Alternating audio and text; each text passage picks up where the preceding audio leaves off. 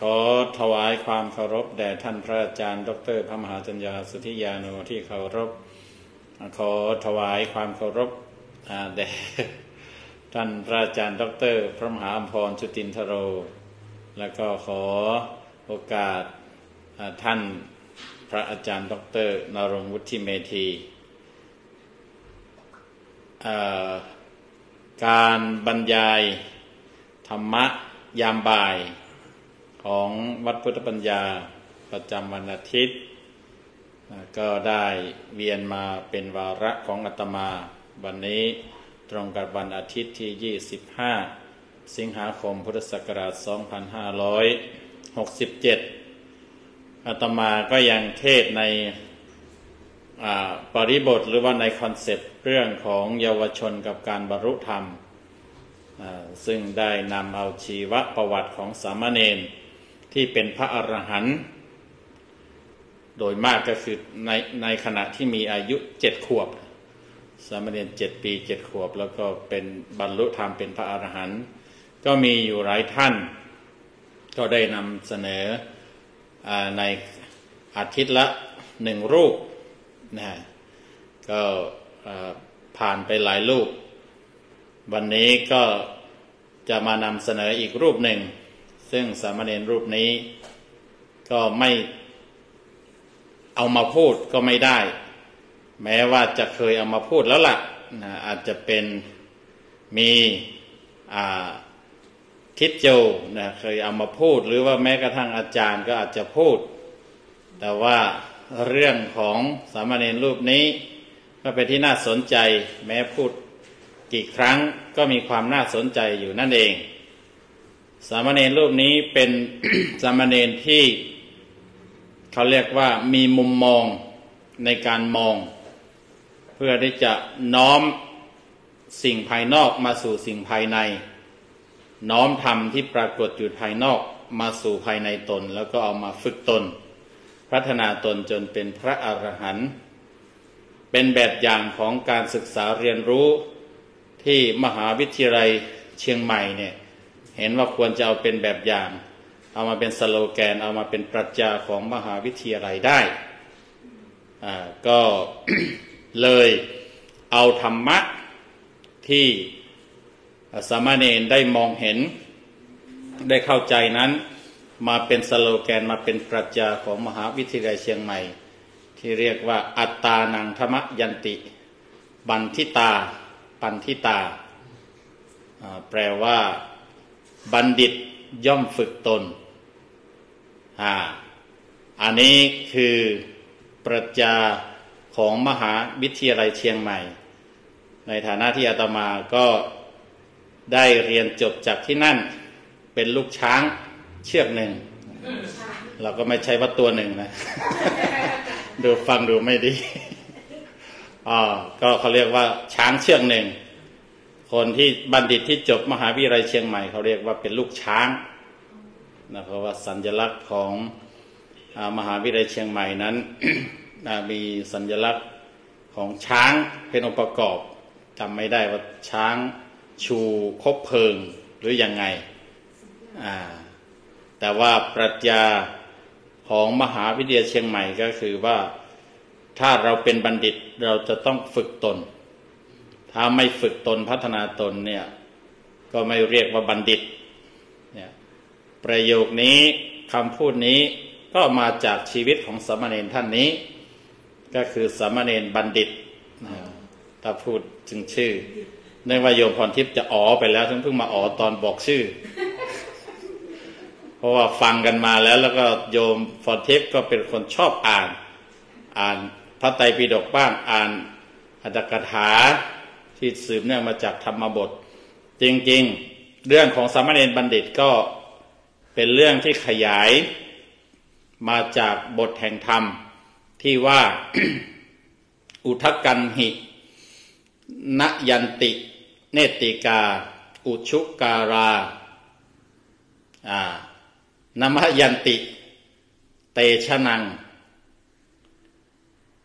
ทาลุงนมยันติ ตัชกา อัตตานังธรรมยันติบันทิตา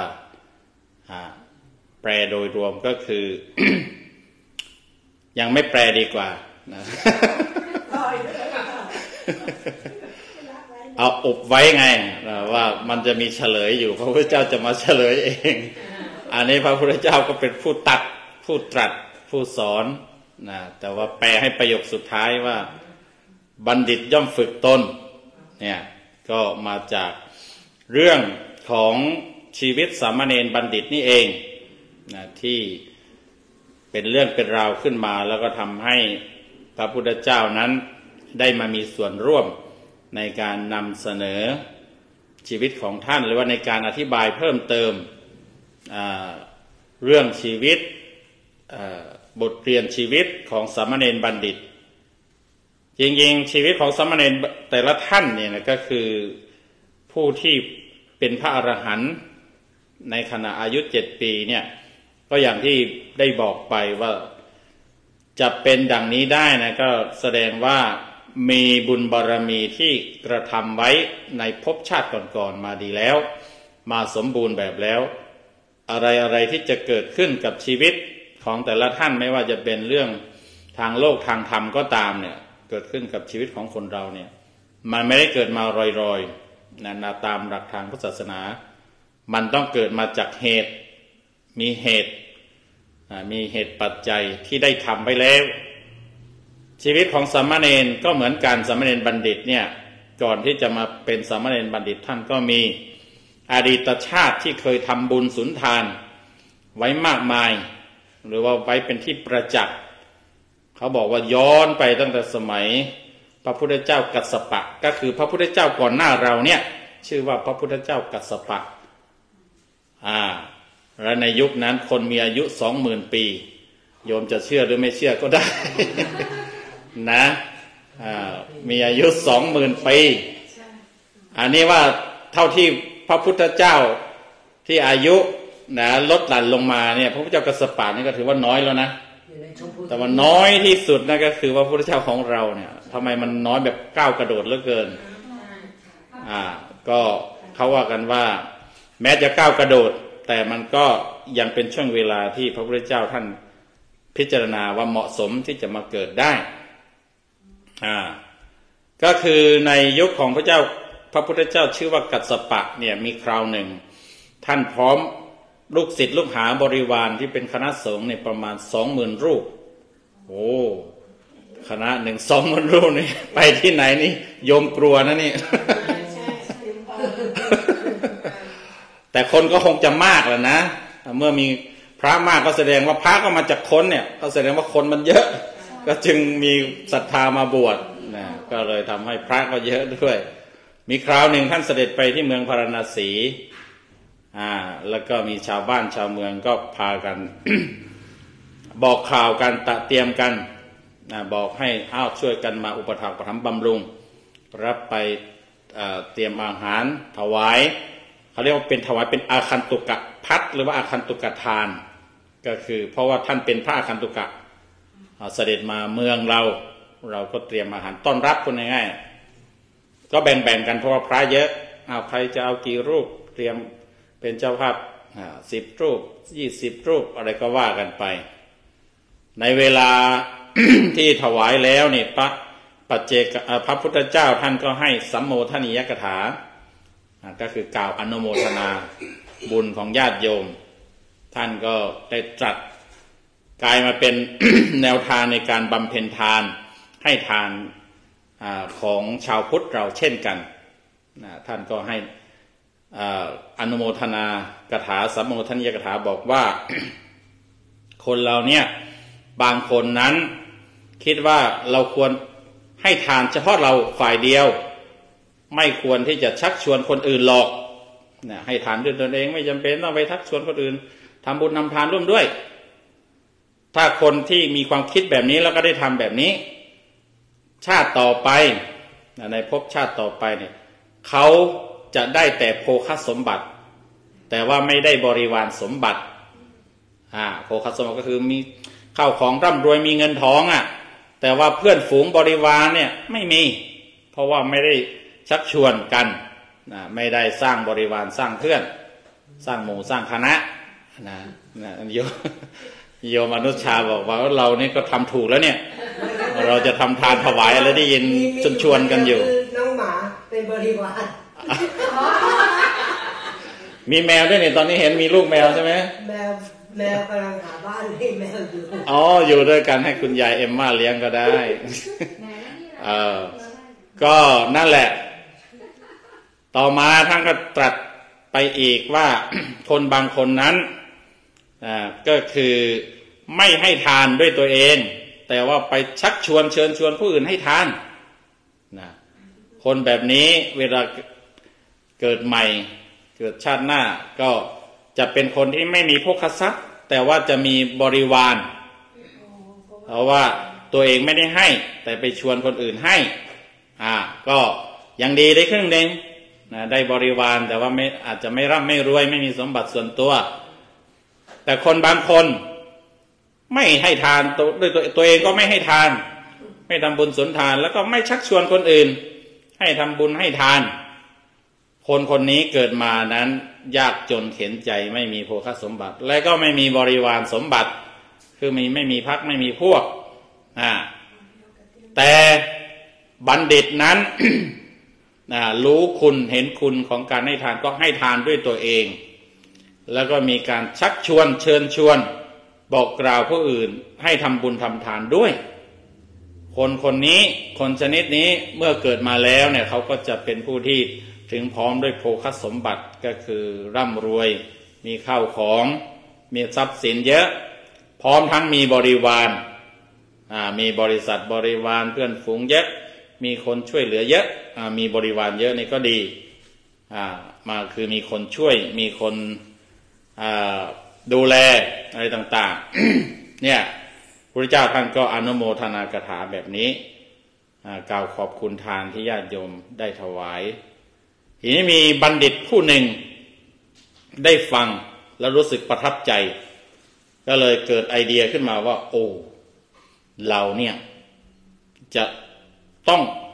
ทำเหตุที่มันจะได้ทั้งโภคสมบัติและบริวารสมบัตินะแกก็เลยวางแผนจะทำบุญ ก็เลยเข้าไปอารัธนานิมนต์พระพุทธเจ้า กัสปะบอกว่าผมเนี่ยอยากจะนิมนต์นะ ระองค์พร้อมทั้งภิกษุที่เป็นบริวารทั้งหลายเนี่ย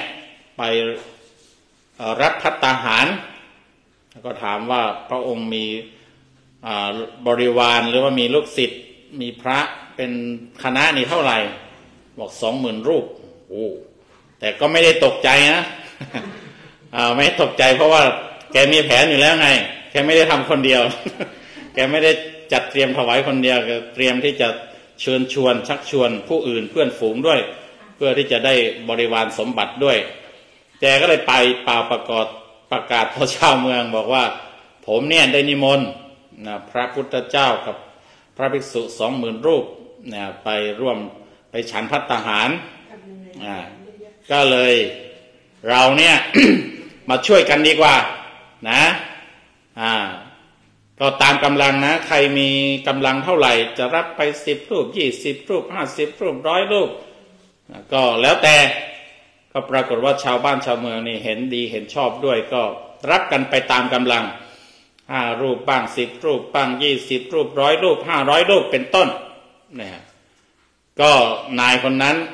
บันในหนุ่มบัณฑิตนะแกก็จดบัญลงบัญชีไว้ ว่าเอาครอบครัวนี้บ้านนี้เอา รับเป็นเจ้าภาพกี่รูปกี่รูปกี่รูป อ่า ก็พอดีในหมู่บ้านนั้นน่ะ มันมีคนยากจนคนหนึ่ง ชื่อว่าจำได้ไหม ชื่อนายมหาทุกขตะเอ่อนายมหาทุกขตะชื่อมันก็บ่งบอกยี่ห้ออยู่นะทุกนี่มันยังเพียงพอแล้วนะทุกขนาดนะอ่ามันมีมหาได้แบบว่าทุกมาก นายมหาทุกขตามาว่ายากจนมากนะยากจนมากเขาบอกว่า ยากจนจนแบบว่าไม่มีไม่มีข้าวพอกอกหม้อในแต่ละมื้อต้อง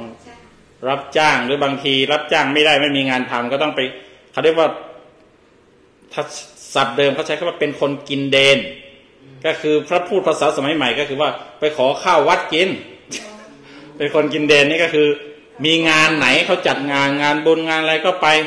สังเกตการมีอาหารเหลือมีอาหารแจกไหมหรือบางทีก็โอ้เอ่อมีวัดมีวา มีพระเดินมาอะไรนี่เขาทำบุญอะไรถวายพระเนี่ยมีอาหารเหลือจากพระไหมอันนี้เขาเรียกว่าคนกินเดนนะแกก็ยากจนถึงขั้นระดับนั้น แต่กันนั้นเนี่ยนายบัณฑิตนี่ก็ไปเจอเขาก็ไปบอกข่าวการบุญการทำบุญเนี่ยบอกว่า เนี่ย ชาวบ้านชาวเมืองเขาจะทำบุญนะ เนี่ยมี พระตั้งสองหมื่นรูปนี่มีพระพุทธเจ้าเป็นประธาน เธอจะรับไปกี่รูป นายมาดุกตาบอกว่า โอ้อาผมผมจะไปรับได้ยังไง ผมยากจนเฉพาะข้าวที่จะให้ไปเลี้ยงลูกเลี้ยงเมียเนี่ย หรือข้าวพอจะตัวเองจะกินนี่ก็แทบจะไม่มี หรือว่าข้าวเขาจะกรอกหม้อเนี่ยสำหรับครอบครัวสำหรับผมเนี่ยก็ไม่มีเนี่ยผมจะไปเลี้ยงถวายพระได้ยังไงอการที่ รจะทำบุญกับพระกับอะไรเลี้ยงพระถวายพระนั้นเป็นเรื่องคนรวย ผมจนผมจะทำอะไรได้ เออไอ้ทีนี้นายคนชักชวนนี่แกเป็นคนฉลาดแกเป็นบัณฑิต แกก็ไม่ได้ยอมง่ายๆ แกก็บอกว่า พูดเชิญชวนพูดจูงใจ บอกว่า เนี่ย เธอไม่รู้หรือที่เธอนี่ยากจนอย่างนี้ก็เพราะว่าเธอเนี่ย ไม่ได้ ทำบุญทำทานอะไรให้ก่อนอืมนายนั้นก็บอกว่าเออผมรู้ เอารู้แล้วทำไมไม่ทำล่ะอ่าแกก็ยังหนุ่มยังแน่นเอาให้เหตุผลดีแกก็ยังหนุ่มยังแน่นเรี่ยวแรงพอมี ก็ลองไปหางานทำดูไปรับจ้างดู อาจจะได้เงินได้ทองได้ค่าจ้างอะไรมาพอที่จะทำบุญสุนทานได้ เออเข้าท่านายมาเอาดุกตาบอกเออ เข้าท่าอะถ้างั้นก็ผมขอรับสักรูปหนึ่งก็แล้วกันนะ จดชื่อไว้ให้พระในบัญชีไว้ให้ผมด้วยหนึ่งรูปนะเอ่อแต่ทีนี้ว่านายนะก็แม้เป็นบัณฑิตก็ยังพลาดหน่อยหนึ่งก็คือ คิดเอาเองบอกว่าเอ้รูปเดียวเนี่ยไม่จะเป็นต้องจดหรอกว่างั้นนะอ่า ก็เลย อ่า ชวนแล้วก็รู้ว่านายนี้รับไปคนหนึ่ง แต่ไม่ได้จดไว้ ในมหาทุกตะเนี่ยพอแกรับแล้วแกก็ไปหางานทำ นะแกไปบ้านก่อน แกไปบอกข่าวก่อนนะไปบอกข่าวกับภรรยาแก บอกว่าเนี่ย ฉันนะถูกคนคนหนึ่งชวนให้ทำบุญนะพรุ่งนี้เราจะทำบุญกับพระถวายทานกับพระรูปหนึ่งภรรยาแกก็ถือว่าเขาเรียกว่าเป็นคนไปกันได้นะ ก็คือไม่ได้มีความคิดไม่ได้ด่าทอสวนกลับบอกว่า แกไปรับทำไมนี่ เรายากจนแต่บางคนภรรยาบางคนอาจจะเป็นอย่างนั้นนะอ่าโอ้ เราจะอดตายอยู่แล้ว นี่ยังทำเป็นใจใหญ่ไปจะไปเลี้ยงพระอยู่เลยด่าสวนไปแล้ว แต่ว่าสามภรรยาแกก็บอกโอ้ดีแล้วพี่ ที่เรายากจนอย่างนี้ก็เพราะว่าเราไม่ได้ทำบุญทำทานไว้เอาเถอะเราจะช่วยกันไปหารับจ้าง แล้วก็อ่าได้ข้าวได้ของได้เงินได้อะไรมาเดี๋ยวจะทำบุญ ถวายแก่พระรูปหนึ่ง ก็พากันออกไป เขาบอกว่าไปสู่สำนักงานจ้าง หรือว่าจ้างงานก็สำนักแสดงว่าที่สำนักจ้างงานมันมีมาควบคู่กับสังคมเลยนะสำนักงานอะไรเขาเรียกอะไรนะสำนักงานจัดหางานเหรออ่าที่อเมริกานี่ก็มีนะที่ Costco ใช่ไหมอ่าไม่ใช่ Home Depot ใช่ไหม employment อ่าเนี่ยเข้าไป Home Depot เนี่ย มันจะมีลานจอดรถอีกมันจะมีพี่น้องเราที่ต้องการงานเนี่ย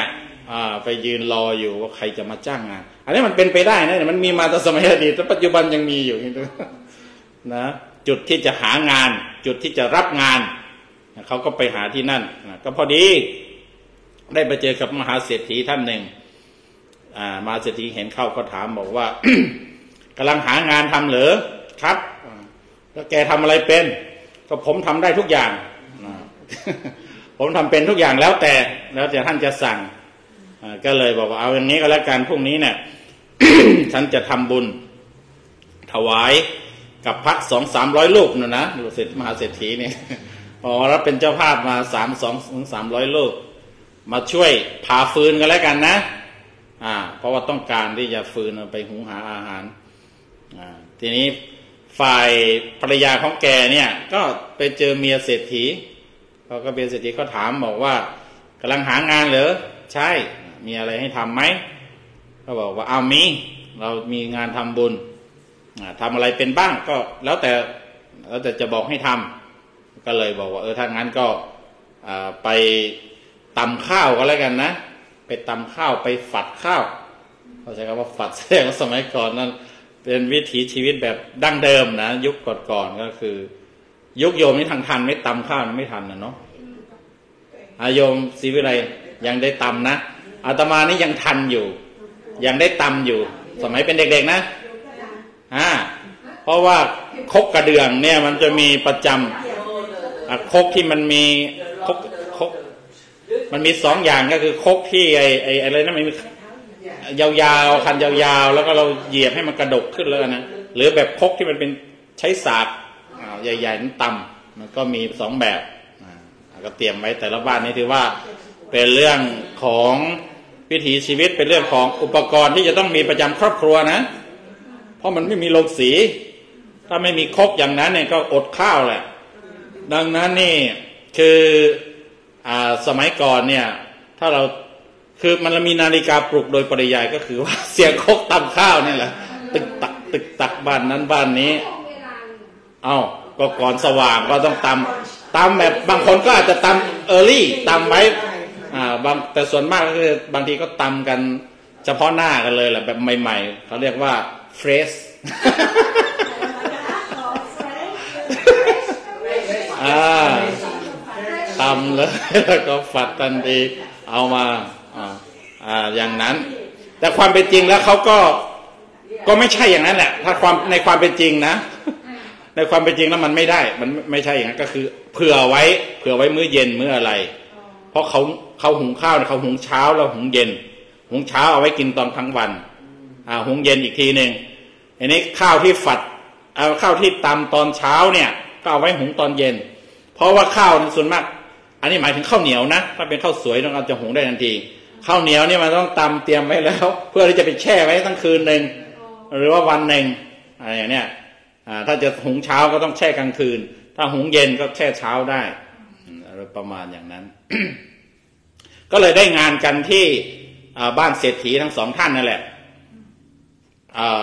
สองผัวเมียเนี่ย พอได้งานแล้วเนี่ยดีใจมาก ดีใจ เพราะว่าตัวเองแน่นอนแล้วว่าเราเนี่ยเราได้ค่าจ้างแน่นอน เราจะต้องได้อะไรไป เปลี่ยนเป็นข้าวปลาอาหารถวายพระตามที่เราได้สัญญาไว้กับคนที่มาเชิญชวนทำบุญนั้น แกก็ดีใจมากนะทำงานไปด้วยร้องเพลงไปด้วย จะฟ้อนไปก็ด้วยนะเออโดยเฉพาะอย่างยิ่งภรรยาของนายมหาดุกตาโอ้ฝัดข้าวนี่มันเป็นจังหวะอยู่แล้วเนาะยกยกคือจะฟ้อนจะลำไปด้วยคือมีความสุขว่าได้งานได้ข้าวได้ ทายธรรมจะไปทำบุญแล้วนะก็ได้ทำงานกัน จนจบวันจบเวลาแล้วก็ได้ข้าวนายทุกขตาเนี่ยเศรษฐีให้ข้าวค่าจ้างเนี่ยสี่ธนานสี่ถ้วยหรือสี่แบบไหนก็ไม่ทราบเขาใช้คำว่าธนานสี่ถาดหรือสี่ถ้วย อ่า แต่ทีนี้ยังให้ไอ้เขาเรียกว่าให้ไอ้รางวัล เพิ่มเข้ามาอีกสี่ธนาน ในฐานะที่ว่าทำงานดีทำงานขยัน แล้วก็ทำงานด้วยความสุขอะนะเศรษฐีก็ให้รางวัลพิเศษ ในฐานะที่ว่าทำงานดีทำงานยังมีความสุขชอบ แล้วก็สำคัญก็คือว่า ไอในจริง ๆเขาก็ถามกันนะบอกเอ๊ะทำไมทำขยันจังเลยเอ่อแบบร้องเพลงไปด้วยจะฟ้อนจะรำอารมณ์ดีเหลือเกินนะนาย ทั้งภรรยาทั้งนายมหาทุกตักก็ได้บอกทั้งเศรษฐีและภรรยาเศรษฐีว่าตัวเองเนี่ยจะรับจ้างแล้วก็เอาเข้าของเนี่ยไปเอ่อทำเป็นทายธรรมทำบุญทำทานกับพระรูปหนึ่งไอ้ตรงนี้แหละที่เศรษฐีที่ทั้งภรรยาเศรษฐีนี่ก็ก็เลยให้รางวัลพิเศษนะฮะเฉพาะอย่างยิ่งคือเศรษฐีนี่ให้ข้าวเพิ่มที่ธนาน แล้วก็ภรรยาเศรษฐีก็ให้อาของที่มันจะไปทำกับข้าวได้เขาบอกว่าให้ พวกเครื่องเทศ พวกเนยใส นมสด อะไรพวกนี้เครื่องปรุงอะไรไปนะทีนี้ทั้งสองนั้นเมื่อได้ค่าจ้างเรียบร้อยแล้วก็จะพรุ่งนี้ก็ต้องเตรียมรุ่งเช้ามาก็เริ่มเตรียมอาหารกัน จะเตรียมของของทำบุญ แต่ว่าฝ่ายภรรยานี่บอกว่าเเราน่าจะมีผักซะหน่อยไปหาดูผักนะอ่า ก็ไปดูแล้วปรากฏว่ามันในตลาดมันไม่มี แกก็เลยไปที่แม่น้ำไปที่ริมแม่น้ำครับอ่า ที่จะไปเก็บผัก ผักริมแม่น้ำผักอะไรบ้างอะผักบุ้งเหรอกระเฉดผักกระเฉดผักผักหนามบัวอ่าผักอะไรไม่รู้ล่ะ แกจะไปเก็บผัก แกก็เก็บผักไปดีใจด้วยร้องเพลงไปด้วย ทีนี้ที่แม่น้ำริมแม่น้ำเนี่ยก็มีคนทอดแหอยู่ หาปลาทอดแหอยู่ อ่า พอรู้จักกันก็เลยบอกเอ้ยทำไมแกทำอะไรเนี่ยแกดูเหมือนมีความสุขเหลือเกินเราเก็บผัก เอาไปทำอะไรล่ะ จะเอาไปทำบุญโอ้อันนี้เขาพูดสัพพยอกพูดแซวหน่อยบอกว่า พระที่ได้ฉันอาหารของแกคงจะอิ่มอร่อยกันแล้วเนาะเพราะว่าฉันผักอะ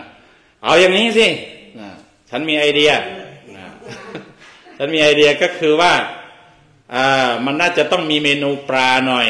เนี่ยมันจะได้อร่อยเนี่ยแกมาช่วยฉันมาช่วยร้อยปลานะร้อยปลาให้เป็นพวงพวงพวงละบาทพวงละ อะไรก็ว่าไปอ่านายนะก็เลยนายมหาพุทธตาก็มาช่วยร้อยปลาเนี่ยครับเป็นพวงพวงแล้วก็ก็คือเอาไว้ขายให้ชาวบ้านเนี่ยอ่าปรากฏว่าขายดี เพราะว่าชาวบ้านก็ เอาไปทำบุญนั่นแหละ ซื้อไปทำบุญนั่นแหละอ่าก็ขายจนหมดแหละ นะอ่าพอได้เวลาใกล้เวลาแล้วแกก็นายมหาทุกตาบอกว่าฉันต้องไปแล้วล่ะนะอ่าคนทอดแหก็บอกว่าเอ้ยแล้วเรามีพวงปลาเหลืออยู่ไหมไม่เหลือเลย ขายหมด คนเอาไปหมดเลย โอ้ถ้าอย่างนั้นก็ เอางี้ก็แล้วกันไหนๆกันนายก็ช่วย ช่วยฉันมาเยอะแล้วก็ฉันก็ต้องตอบแทนแกก็เลย บอกว่ามีปลาตะเพียนที่แก เขาเรียกว่าอะไรจิกไว้หรือว่ากักไว้เก็บไว้ที่เป็นเอาไว้ทำอาหารส่วนตัวเนี่ยเอาไว้ทำอาหารเนี่ย หมกทรายไว้เขาไว่าอย่างนั้น ก็ให้ไปนะให้ปลาตะเพียนนั้นไปกับนายมหาทุกตะนะทีนี้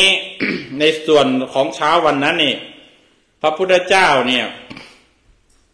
ก็อ๋อไม่ใช่สิเนี่ย ยังไม่ถึงนะ จะข้ามมาที่พระพุทธเจ้าของเราเราไม่ใช่ อ่า พอ อ่า พอนายคนนี้ได้ปลา แล้วก็ไปเตรียมอาหารทีเนี่ย แกก็ไปนั่นก่อน ไปหาคนนะเอาปลาคงจะเอาปลาอะไรไปให้ภรรยาอะไรแล้วล่ะ จังหวะนั้นเนี่ยก็คือเท้าสักกะเนี่ย ก็ปรากฏว่ารับรู้ด้วย การที่อาสนะท่านนี่คือที่นั่งท่านของท่านเนี่ยเรียกว่าแข็งนะร้อนถึงพระพระอินเขาเรียกพระอินก็คือเท้าสักกะเนี่ยบอกว่าเอ๊ะมันมีอะไรเนี่ยเรื่องมันมีใครต้องการความช่วยเหลืออะไรไหมก็คือ ด้วยอนุภาพของการที่ว่านายคนเนี้ยมีจิตศรัทธาอย่างแรงกล้าที่จะทำทาน กับพระพุทธทำทำถวายทานเนี่ยแล้วก็ก็คงจะรู้ว่า คนพระรูปหนึ่งที่จะมานั้นน่ะจะเป็นพระพุทธเจ้า เพราะว่าเท้าวสกกานี่รู้ว่า ไอคนชวนเนี่ย ลืมจด ลืมจดแล้วก็ลืมไปเลย แล้วก็แจกจ่ายพระเนี่ยหรือว่ามอบพระ ให้กับชาวบ้านชาวเมืองเนี่ยให้ไปหมดเลยน่ะ ไม่เหลือใครท่านหรือพระพุทธเจ้าอ่าก็ก็เหลือพระพุทธเจ้านี่แหละก็หมายถึงว่าพระเนี่ยหมดหมดเลย มีแต่พระพุทธเจ้า คือในเช้าวันนั้นเนี่ยในคืนค่ำคืนตอนเช้าตรู่นะก็คือมีคนที่มองเห็นอนาคตอยู่สองคนหนึ่งคือเท้าสกกัดเท้าสกกัดนี่เห็นว่าเออนายคนนี้จะไม่ได้พระ แต่ว่าจะได้พระพุทธเจ้าเฮ้พระพุทธเจ้ามาฉันข้าวอาหารของนายมหาทุกตะเนี่ยเมนูธรรมดาธรรมดาเนี่ยแม่มันไม่ยิ่งใหญ่เนี่ยเราจะต้องทำให้การให้ทานของนายมหาทุกตะที่มีจิตศรัทธาอย่างแรงกล้าเนี่ยต้องมีอานิสงส์มีความยิ่งใหญ่ อ่า มีคนชื่นชม ท่านก็เลยบอกว่าโอ้ปลอมตัวลงมา ลงมาจากสวรรค์แปลงร่างปลอมตัวลงมาเป็นคนที่ใคร ๆ ก็ไม่รู้จักแหละอืมแล้วก็เดินผ่านมาทางบ้านของนายมาทุกตะ เนี่ย ก็บอกบอกว่านายมีอะไรให้ผมรับจ้างบ้างไหมบอกว่า ท่านทำอะไรเป็นบ้างล่ะ โอ้ข้าพเจ้าก็ทำได้ทุกอย่าง หุงข้าวก็เป็นทำอาหารก็เป็นอย่างนั้น โอ้น่าสนนะเราก็ต้องการแรงงานอยู่เหมือนกันคนช่วยอยู่เหมือนกันอ่าอย่างนี้ก็แล้วกันงานเนี่ยมันมีอยู่นะ แต่ว่าค่าจ้างเนี่ย เราไม่มีเราไม่มีค่าจ้างให้ค่าตอบแทนให้บอกว่าเออแล้วท่านจะทำอะไรเหรอบอนี่เราก็จะทำเตรียมทำอาหารทำบุญกับพระรูปหนึ่งอ๋อถ้าทำบุญเนี่ยผมไม่เอาค่าจ้างก็ได้ ผมขอส่วนบุญสักหน่อยหนึ่งก็ได้ อ่า เอาถ้าอย่างนั้นนายมาเขาตก็บอกโอ้ก็เข้าท่าสิเอาส่วนบุญแบ่งส่วนบุญได้ยอมแบ่งให้อยู่แล้ว ก็เลยเอางั้เขาไปเข้าไปครัวไปช่วยภรรยาเดี๋ยวผมจะไปรับพระมาแกก็ไปที่หาบ้านของนายที่ไปชวนพวกทำบุญนั่นแหละ แล้วก็เนี่ยนอกจากเท้าสกกัดก็คือมีพระพุทธเจ้าเห็นพระเจ้าเห็นว่าอ่าเออเพราะว่ามันเป็นกิจของพระพุทธเจ้า เดลี่รูทีนเนี่ยที่ห้าประการเนี่ยจะมาคือเทศไปใช่ไหมพระพุทธเจ้าในตอนเช้าจะไปบินทอ่าตอนตอนเช้าในบินทบาทนะออกโปรดสัตว์บินทบาทแล้วก็ตอนเย็นเนี่ยสองตอนเย็นนี้ เทศกับชาวบ้าน เทศโปรดชาวบ้านสามกลางคืน กลางคืนนี่เทศสอนพระหรือว่าให้โอวาทพระสี่เที่ยงคืนเนี่ยสอนเทวดาอ่ารับแขกรับเทวดา รับแขกเทวดา สอนธรรมเทวดา แล้วก็ห้าคือใกล้รุ่ง ใกล้สว่างนี่ท่านนี่เขาเรียกว่าตรวจดูหมู่สัตว์ ตรวจดูสัตว์โลกใช้พระญาณคือเครือข่ายคือพระญาณเป็นอินเทอร์เน็ตอ่าอ่าอย่า insight insight network ของท่านท่านก็แผ่ไปใครวันนี้เข้ามาอยู่ข่ายของพระองค์ ก็จะไปช่วยคนนั้น ก็ปรากฏว่านายมหาทุกตานี่ปรากฏในเครือข่ายของพระองค์ นี่มันเรื่องอะไร รู้ว่านายคนเนี้ยจะ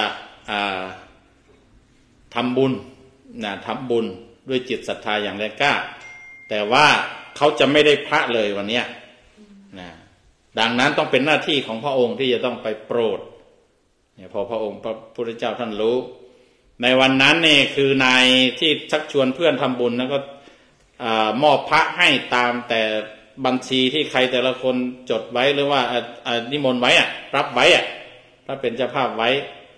ก็แจกไปหมดเลย พอถึงจุดที่นายมหาทุกตาไปถึงเนี่ย ก็เห็นหน้านายมหาทุกตาแล้วก็นึกได้ว่า โอ้ตายแล้วเรา เราลืม ลืมจดพระรูปดึงในบัญชีไว้ให้ แกนายมหาทุกตะอ่าปรากฏว่านายคนนี้อาจจะมาสายหน่อยเพราะว่าแกไป มัวเก็บผักไปขายปลาช่วยอะไรอยู่เอ้ยพระเขารับไปหมดแล้ว อ่าเขาก็บอกว่าโอ้นายเอ้ยนายมาทุกตะเอ้ย ฉันพลาดแล้วล่ะเนี่ย เนี่ย ตอนนี้น่ะ พระเนี่ย ชาวบ้านคนอื่นรับไปหมดแล้ว ไม่เหลือสักรูปเลยโอ้นายคนนั้นแทบเป็นลม เสียใจมากเราเขาบอกว่าเหมือนกับมีเอาหอกมาทิ่มมาแทงหัวใจหรือว่าแทงท้องแทงอะไรนะถ้าเจ็บปวด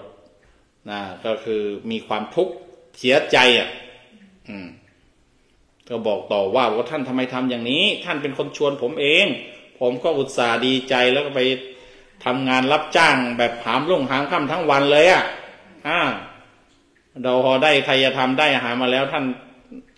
ท่านมาทำอย่างนี้กับผมเนี่ยผม ก็เหมือนกับว่าฆ่าผมหรือว่าทำให้ผมชิบหาย ภาษาเดิมเขาบอกว่าทำให้ผมชิบหาย มันกว้างกว่านะก็คือบอกว่าชิบหายจากทรัพย์สมบัติชิบหายจากบุญจากทานจากการทำความดีอะอ่าชาวบ้านชาวเมืองเห็นเขาก็ลุมว่าเหมือนกันบอกว่าโอ้ท่านทำไมทำอย่างนี้ทำอย่างนี้นี่ถือว่าทำกรรมหนักมากกับคนที่มีศรัทธาขนาดนี้นายบัณฑิตที่เชิญชวนคนนี้ก็บอกคุยกับพยายามพยายามที่จะต่อรองพยายามที่จะ ก็จะบอกว่าปณีประนอมนะครับ คือยอมรับผิดด้วยแหละแต่ว่าก็จะหาทางออกด้วยโอ้ผมก็ผิดพลาดไปแล้วล่ะ แต่ว่าอย่าทำให้ผมชิบหายหรือว่ามีความทุกข์ใจไปด้วยเลยก็แล้วกัน มันมีอยู่นะ มันมีทางออกอยู่ นั่นก็คือว่า ได้ทราบว่าพระพุทธเจ้าเนี่ย อ่า ตื่นเช้ามาเนี่ยท่านทำภารกิจส่วนตน แล้วก็เข้าห้องเงียบเข้ามูลคันธกุฎีห้องเงียบเลย ไม่รู้ว่าท่านคิดอะไร เนี่ยแล้วก็เหล่าบรรดาพวกพระราชาคฤหบดีหรือเจ้าชายทั้งหลายแหล่นี้ก็ไปเฝ้าหน้าห้องหน้ามูลกันทกุดี เพื่อหวังที่จะรับพระพุทธเจ้าเนี่ยไปฉันที่บ้านของตนเอง ธรรมดานี่พระพุทธเจ้านี่มักจะอนุเคราะห์คนยากคนจนคนทุกข์ยาก เอาอย่างนี้นะ ท่านนี่ก็จงไป จงไปหาพระพุทธเจ้า ถ้าหากว่าบุญท่านมีเนี่ย ท่านก็จะได้พระพุทธเจ้าเนี่ย ไปฉันที่บ้านท่านนายคนนั้นก็ดีใจ เพราะว่านายบัณฑิตนี่ก็บอกแล้วบอกว่ามันไม่มีพระเหลือ แล้วก็ไม่มีใครยอมให้เลย จะขอสักรูปหนึ่งก็ไม่มีใครยอมแบ่งให้กก็เลยเสนอทางเอาไปหาพระพุทธเจ้าก็แล้วกันพระเจ้าท่านก็หลังจากตรวจดูแล้วท่านก็เลยก็ยังว่าเนี่ยท่านก็ รีบจัดการภารกิจของท่านแล้วก็เข้าห้องเงียบ เพราะว่าท่านมีเจตนาว่าเราจะโปรดนายมหาทุกตานี้ วันนี้จะไม่ให้บาดกับใคร อ่า วิธีที่ว่าจะไปฉันที่บ้านใครนะคือ ถ้าพระเจ้าออกมาแล้วก็ยื่นบาตรให้ใคร ก็แสดงว่าพระเจ้าโปรดท่านนั้น คนคนนั้น อืมก็นายคนนี้ก็ไปถึง แล้วก็ก้มกราบแล้วก็ทูลราธนาเลยบอกว่าข้าแต่พระองค์ ข้าแต่พระองค์ผู้เจริญเนี่ยข้าพระเจ้าเนี่ยเป็นคนที่ทุกข์ที่สุดจนที่สุดในหมู่บ้านในเมืองเนี้ยไม่มีใครทุกข์กว่าผมอีกแล้วนะทราบว่าพระพุทธเจ้าเนี่ยอนุเคราะห์คนทุกข์คนยากในเมืองนี้ก็ไม่มีใครทุกข์ยากเกินผมแล้ว ขอพระองค์จงโปรดอนุเคราะห์ข้าพระเจ้าด้วยเถิดข้าพระองค์ด้วยเถิดพระเจ้าก็เปิดประตูออกมาแล้วก็ยื่นบาตรให้นายมหาทุกตะ นะพวกพระราชาก็ระบดีเจ้าชายทั้งหลายแหล่ตอนนั้นตะลึงมองหน้ากันแล้วกันว่านี่มันเกิดอะไรขึ้นทำไมเรามาเฝ้าตั้งนาน แล้วพระเจ้าไม่ยอมออกมาให้บาตรแต่ว่านายนี่มาอารัธนานิมนต์มาพูดแล้วก็พระเจ้าออกมาให้ แล้วก็เป็นธรรมเนียมว่า เมื่อพระพุทธเจ้ายื่นบาตรให้ใครเนี่ยนะแล้วคนอื่นๆเนี่ยจะไปแย่งบาตรเป็นไปไม่ได้นะ ทำไม่ไม่กล้าทำก็คือเกรงบารมีของพระพุทธเจ้า เกรงใจพระพุทธเจ้านั่นแหละเกรงบารมีของพระเจ้าได้แต่เพียงแค่ว่ายื่นข้อเสนอดาวบรรดาพระราชาขณบดีก็ยื่นข้อเสนอว่าอ่าเนี่ยนายทุกมหาทุกตะ ท่านจงมอบบาตรให้กับข้าพเจ้าเถิดแล้วก็เอาเงินนี้ไป พันเสนอเงินหนึ่งพันบ้างหลายพันบ้างแสนพังแสนกับหาพนะก็มี แต่ว่านายมาทุกตานั่นก็บอกว่า ผมไม่อยากจะได้เงินได้ทองเท่านั้นเท่านั้นผมอยากได้พระรูปหนึ่งไปเพื่อที่จะไปทำบุญ แกมีเจตนาแกเด็ดขาดเลยก็บอกว่าผมไม่เอาไม่ให้ใครผมจะทำบุญ ก็เลยได้บาตรแล้วก็ได้พาพระเจ้าไปบ้านหลวงพกพระราชาเจ้าชายกระบดีเศรษฐีทั้งหลายแหล่เนี่ยก็ตามไปดู แม้ว่าไม่ได้ ตอนแรกนะคิดว่า คิดว่านายคนเนี้ย ไม่รู้จะทำอะไรคงคงทำของอาหารเล็กๆน้อยๆเนี่ย อ่า แล้วก็พระพุทธเจ้าก็คงฉัน คงยังไม่อิ่ม เดี๋ยวหลังจากฉันที่บ้านนายคนนี้แล้วนายมหาทุกตาเนี่ยเดี๋ยวเราจะนิมนต์ไปฉันที่บ้านเราว่างั้นก็เลยพากันตามไป ตามไปแล้วอีกส่วนหนึ่งนะก็อยากจะรู้ว่านายคนนี้เนี่ย มันจะทำอะไรถวายนะพระพุทธเจ้าเนี่ย อ่า จึงจึงไม่ยอมให้แลกด้วยเงินด้วยอะไรเสนอ เงินทองให้เปลี่ยนให้แลกกันอ่าขอบาทไปก็ไม่ยอมมันมันมันจะทำอะไรอาหารอะไรยิ่งใหญ่ขนาดไหนถวายพระพุทธเจ้าก็ตามไปดูด้วยส่วนหนึ่งนะก็ปรากฏว่าอาหารนั้นน่ะโอ้พ่อครัวใหญ่เป็นเท้าสก่าพระอินทร์มันจะธรรมดาใช่ที่ไหนใช่ไหมท่านก็ไม่ใช่ไม่ใช่ใส่ผงชูรสนะแต่ว่าท่านใช้รสทิพนะฝีมือ พ่อครัวขั้นเทพเนาะมันต้องอร่อยอยู่แล้วทำอาหารทำอะไรข้าวก็หอม แกงก็อร่อยอพอทีนี้ท้าสกัดก็รู้ว่าพวกชาวบ้านชาวเมืองนี่อยากจะรู้มามาคล้ายๆว่ามาท้าทายแล้วมาจะอะไรล่ะ จะดูถูกอาหารของนายมาดุกตาไงท่านก็ทำสุดฝีมือเลย พอแต่เปิดฝาออกเท่านั้นแหละ แค่เปิด หน้าฝาหม้อแกงหรือว่า อะไรตอนนี้โอ้โหกินนี่หอมอบตรบตบตวนไปทั่วพระนครพระราชาชาวบ้านชาวเมืองว่าโอ้ไม่แปลกใจแล้วที่พระพุทธเจ้ารับนิมนต์หรือว่านายคนเนี้ยที่ทำอาหารได้ขนาดนี้นะโอ้สมควรละไม่เคยเห็นอาหารอะไรที่มีกลิ่นแค่กลิ่นนี่ก็แบบว่ายืนยันได้ว่าอร่อยแน่นอน ก็เลยพากันกลับบ้านใครบ้านมันนะ พระพุทธเจ้าเขาบอกว่า พระพุทธเจ้าไปที่บ้านนายมหาทุกตะเนี่ยบ้านแกเนี่ยเตี้ยๆประตูนี่ต่ำๆแต่ว่าด้วยพุทธานุภาพเนี่ย พระพุทธเจ้าไปที่ไหนจะไม่ก้มนะเดินท่านจะเดินเข้าไปเลยอ่าทีนี้ท่านเดินได้ เพราะหนึ่งคือด้วยอนุภาพของท่านทำให้บางทีเนี่ย พื้นหรือว่าดินนี่มันมันสุดลงสุดลง หรือประตูข้างบนหลังคาข้างบนเนี่ย ยืดขึ้น อ่าพระพุทธเจ้าก็เดินไปธรรมดานะเข้าไปแล้วก็ไปนั่งที่ แล้วก็นายมหาทุกตะก็อังคาด อังคาดนี่หมายถึงว่าถวายคือเลี้ยงดูจัดแจงอ่าบริการน่ะคอยบริการคอยเสิร์ฟเอาอันนี้เขาเรียกว่าอังคาดอังคาดด้วยมือภาษา อย่างนั้น พอพระพุทธเจ้าอาอิ่มแล้วนะอนุโมทนาเสร็จแล้วก็เท้าสักกะก็ยืนอยู่ ดูแลอยู่ก็บอกส่งสัญญาณบอกเอ้าไปส่งพระพุทธเจ้า รับบาตรไปส่งพระพุทธเจ้า นายมารุกตะก็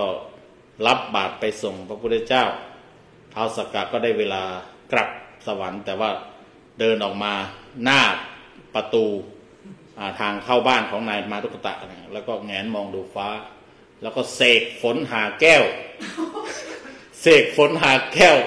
เจ็ดประการอะแก้วเจ็ดประการ รัตนเจ็ดประการ ตกลงมา เต็มเลยล่ะ ภาชนะใดๆที่เป็นหม้อไหอะไรต่างๆ ภายในเรือนของแกน่ะเต็มไปด้วยรัตนะแล้วยังไม่พอล้น เออล้นที่ห้องที่อะไรต่างๆบริเวณบ้านของนายมาทุกตะ จนลูกจนเมียเนี่ยไม่มีที่อยู่อ่าต้องออกมายืนอยู่ข้างนอก นายมารุกตะ โอ้นี่เล่าละเอียดเกินไปแล้วเนี่ยยังไม่ถึงสมณเณรบัณฑิตนี่จะจบเวลา เออเอา อ่าก็ไม่เป็นไรนะพูดเล่าไปเรื่อยๆกันแล้วกันไหนๆมันละเอียดไปแล้วอ่านายมารุกตะกลับมาก็เห็นลูกเมียยืนอยู่ข้างนอกอู้ทำไมมาพากันมายืนอยู่ข้างนอกเนี่ยบอกว่าอู้ไม่ยืนได้ยังไงข้างในเนี่ยไม่มีที่อยู่ มีแต่แก้วแหวนเงินทองนะฮะแล้วเท้าสกัดท่านก็หายไปแล้วท่านเสกให้แล้วท่านก็หายไป โอ้นายมาทุกตาบอกโอ้ผลทานเราเนี่ยอ่าเกิดขึ้นแล้วในวันนี้ได้เห็นผลทันตาเห็นผลในวันนี้ ทันทีเลย ก็เลยบอกว่าต้องไปแจ้งพระราชา ก็เลยไปแจ้งพระราชาบอกว่า เนี่ยที่บ้านของข้าพเจ้าของข้าพระองค์เนี่ย มีฝนหาแก้ว อ่า มีฝนหาแก้วเนี่ย ตกลงมาเต็มบ้านเต็มเมืองเต็มบ้านเลยน่ะเนี่ยขอให้อ่าพระองค์ช่วยพิจารณาด้วยพระราชาจะเอาอะไรล่ะ ก็เอาเกวียนเนี่ยไปขนมาที่ท้องพระโรงนี่ ตามเรื่องราวเขาบอกว่าเอาเกวียนไปตั้งพันเล่มเหมือนกันนะโอ้แสดงว่ามันเยอะขนาดนั้น แล้วก็แก้วแหวนเงินทองน่ะสูงเท่าลำตาลเนาะอ่าอ่าหลางไหลมา ก็ทำให้พระราชาก็ขนนะทรัพย์สมบัติมาไว้ที่ท้องพระโรงแล้วก็โอ้ประกาศเป่าประกาศบอกว่า เราจะทำยังไง กับนายคนเนี้ย อ่าเขามีทรัพย์สินขนาดนี้อ่าเขาก็ บอกว่าโอ้ก็ตั้งเป็นเศรษฐีแล้วอย่างนี้รวยขนาดนี้เขาก็ต้องเป็นเศรษฐีอย่างเดียวก็เลยตั้งให้เป็นเศรษฐีแล้วทีนี้ก็บอกโอ้บ้านหลังนั้นมันมันไม่เหมาะกับเศรษฐีแล้ว ก็เลยพระราชาเลยบอกว่าเนี่ยไอ้ที่ดินตรงเนี้ยแต่ก่อนมันเป็นที่ของเศรษฐี ในอดีตเป็นที่ของเศรษฐีตระกูลเขาก็ล่มจมไปอะแล้วก็อ่าเหลือแต่ที่ดินนายก็ไปปลูกบ้านที่แทนเขาก็แล้วกัน ก็เลยไปปลูกบ้านที่นั่น กำลังถางป่าถางดินถางดอนอยู่ปรากฏว่า ไปเจอขุมทรัพย์อีก คนโชคดี ได้แจ็คพอตฝนหาแก้วตกมายังไม่พอนะไปจะไปทำบ้านไปขุดไปปรับที่ไปเจอไหเอ่อทรัพย์สมบัติมรดกอะไรเศรษฐีเก่าผุดขึ้นมาจอแจเขาบอกว่าเต็มนายนั้นก็ไปแจ้งพระราชาอีกก็บอกว่า โอ้ อันนี้แสดงว่ามันเป็นผลบุญของเธอ ของบุญของท่าน ก็แสดงว่าท่านนั้นนะ เป็นเจ้าของทรัพย์นี้ก็เป็นของท่านก็เลยรวยซ้ำแล้วก็รวยเพิ่มอีก ไม่ใช่รวยสร้างนะรวย double นะโชคดี double นะแกก็โอ้มีใจร่ำรวยขึ้นมา มีใจศรัทธาใจบุญสุนทานกลายเป็นผู้ที่ทำบุญสุนทาน ตลอดชีวิตนะว่ากันว่าพอท่านไปเป็นตำแหน่งเศรษฐี แล้วก็สร้างบ้านเรือนในท่านทำบุญเจ็ดวันนะเลี้ยงอ่าถวาย พระพุทธเจ้ากัสสปะกับพระเนี่ย จนเมื่อจบชีวิตก็ได้ท่องเที่ยวไปในสวรรค์นะสิ้นเขาเรียกว่าสิ้นพุทธันดรหนึ่งสิ้นพุทธันดรก็คือช่วงเวลาที่พระพุทธเจ้ายังไม่อุบัตินะช่วงที่โลกมันว่างจากพระพุทธเจ้าเขาเรียกว่าพุทธันดร พุทพุทธะกับอันตระนะพุทธะคือพระพุทธเจ้าอันตระแปลว่าระหว่าง ช่วงเวลาที่เป็นระหว่าง พระพุทธเจ้าองค์หนึ่งกับองค์หนึ่งจะมาอุบัตินั่นแหละไอ้นายมหาทุกตานี่ก็ไปเป็นเทวดาอยู่บนสวรรค์เสวยสุขอยู่จนมายุคพระพุทธเจ้าของเรานี่นายคนนั้นก็กลับลงมาเกิดบนโลกมนุษย์นะแล้วก็มาเกิดอยู่ในเป็นในท้องหรือว่าในคันของธิดา คนโตของโยมอุปถากบ้านอุปถากของพระสารีบุตรที่เมืองสาวัตถีอ่าทีนี้ก็มีทรายที่เนนลูกคนนี้จะได้บวชก็คือ แม่เนี่แพ้ท้อง แพ้ท้องคืออยากจะทำบุญ ถวายทานในพระห้าร้อยรูป โดยมีพระสารีบุตรเนี่ย เป็นประมุขหรือว่าเป็นหัวหน้าอ่าแล้วก็ตัวเองก็จะขอ นุ่งผ้ากาสายะ ผ้าน้ำฝาดเนี่ย แล้วก็ไปนั่งท้ายพระ แล้วก็รอฉันอาหารรอทานอาหารที่เป็นเดนมันรออาหารเหลือจากพระนะอาหารที่เสียสังมาจากพระน่อ่าแกก็เกิดแพ้ท้องอย่างนี้ญาติญาติก็เลยจัดให้อันนี้มนพระสารีบุตรพร้อมทั้งพระห้าร้อยรูปมาทำบุญ แล้วก็ให้นางเนี้ยเอ่อนุ่งผ้าขาวแล้วก็ไปนั่งท้าย ต่อจากพระนะรอฉันรอทานอาหารจากพระอาการแพ้ท้องจึงสงบ แล้วก็เมื่ออครบได้เวลาก็คลอดนะฮะได้คลอดออกมา ทีนี้ในคราวที่เขาก็ทำบุญอยู่หลายครั้งนะทำบุญตามโอกาสมงคลของของตามประเพณีดั้งเดิมนะ่ะเช่นวันคลอดวันตัดผมจุกวันนั่นวันเนี้ยก็จะมีพิธีตั้งเจ็ดครั้งเขาว่างั้นทำบุญ เหมือนกันเนี่ย นิมนต์พระมาห้าร้อยรูปมีพระสารีบุตรนี่เป็นประธานเนี่ย ก็พอถึงวันพอถึงช่วงที่จะเขาเรียกว่ารับสิกขาบทก็คือแสดงเป็นแสดงตนเป็นพุทธมามกะเนี่ยถ้าพูดเป็นภาษาปัจจุบัน ก็ได้ดิมนพระสารีบุตรมานะมาให้เขาเรียกว่ามาให้ศีลที่บ้านนะทีนี้เอ่อ ท่านพระสารีบุตรก็มามาแล้วเนี่ยก็ถามบอกว่า เด็กคนนี้ชื่ออะไร หนูคนนี้ชื่ออะไร พวกพ่อแม่และญาติๆก็บอกว่า คือมันเกิดปรากฏการณ์ดังนี้ ก็คือว่านับแต่ว่าเด็กคนนี้นะตั้งมาปรากฏหรือว่ามาปรากฏตัวในคันหรือว่าตั้งคันนะเพราะแม่เธอตั้งคันเนี่ยแม่เขาตั้งคันปรากฏว่าคนเซ่อเซ่อซ่าซ่าเงื้อเงื้องันๆเนี่ย กลายเป็นคนฉลาดหมดว่างั้นเออเอ๊ะมันก็ดีนะถ้าใครจะมีลูกมีหลานอะไรยังมาเกิดในตระกูลเนี่ยเผื่อเราไม่ฉลาดเราก็จะได้ฉลาดขึ้นเออสามเณรเนี่ยชื่อว่าบัณฑิต ญาติเขาตั้งชื่อว่าบัณฑิต บัณฑิตแปลว่าผู้รู้ ผู้มีปัญญารักษาตนเนี่ยแปลว่าบัณฑิตนะทางพุทธศาสนาเขาเรียกว่าบัณฑิตแปลว่าผู้มีปัญญารักษาตน ไม่ใช่ที่จบปริญญาตรีปริญญาโทปริญญาเอกนะอันนี้บางทีจบแล้วในความรู้ท่วมหัวยังเอาตัวไม่รอดก็มีนะ แต่ว่าบัณฑิตในทางพุทธนี่ไม่จบอะไรก็ได้ แต่ขอให้มีปัญญารักษาตัวเอง รักษาตัวเองอะไร รักษาตัวเองจากความชั่ว จากบาปจากการทำผิดเนี่ยอันเนี้ยเราเรียกว่าเป็นบัณฑิตได้แค่ชื่อว่าเป็นบัณฑิต เพราะว่าเกิดมาในตระกูลแล้วเนี่ยก็ปรากฏว่าคนในที่นั่นน่ะฉลาดหมดเลย กลายเป็นคนฉลาดหมดเลย เออ ก็โอเคได้ชื่อว่าบัณฑิตนะก็รู้จักชื่อจากอะไร พออต่อมานี่แม่ก็คิดไว้ว่าเออหนูบัณฑิตเนี่ย ถ้าสมมุติว่า หนูอยากจะทำอะไร อยากจะเป็นอะไรเนี่ยนะก็จะทำตามที่ลูกอยากขอหรือว่าลูกลูกอยากทำแม่ก็ตั้งคิดไว้อย่างนั้น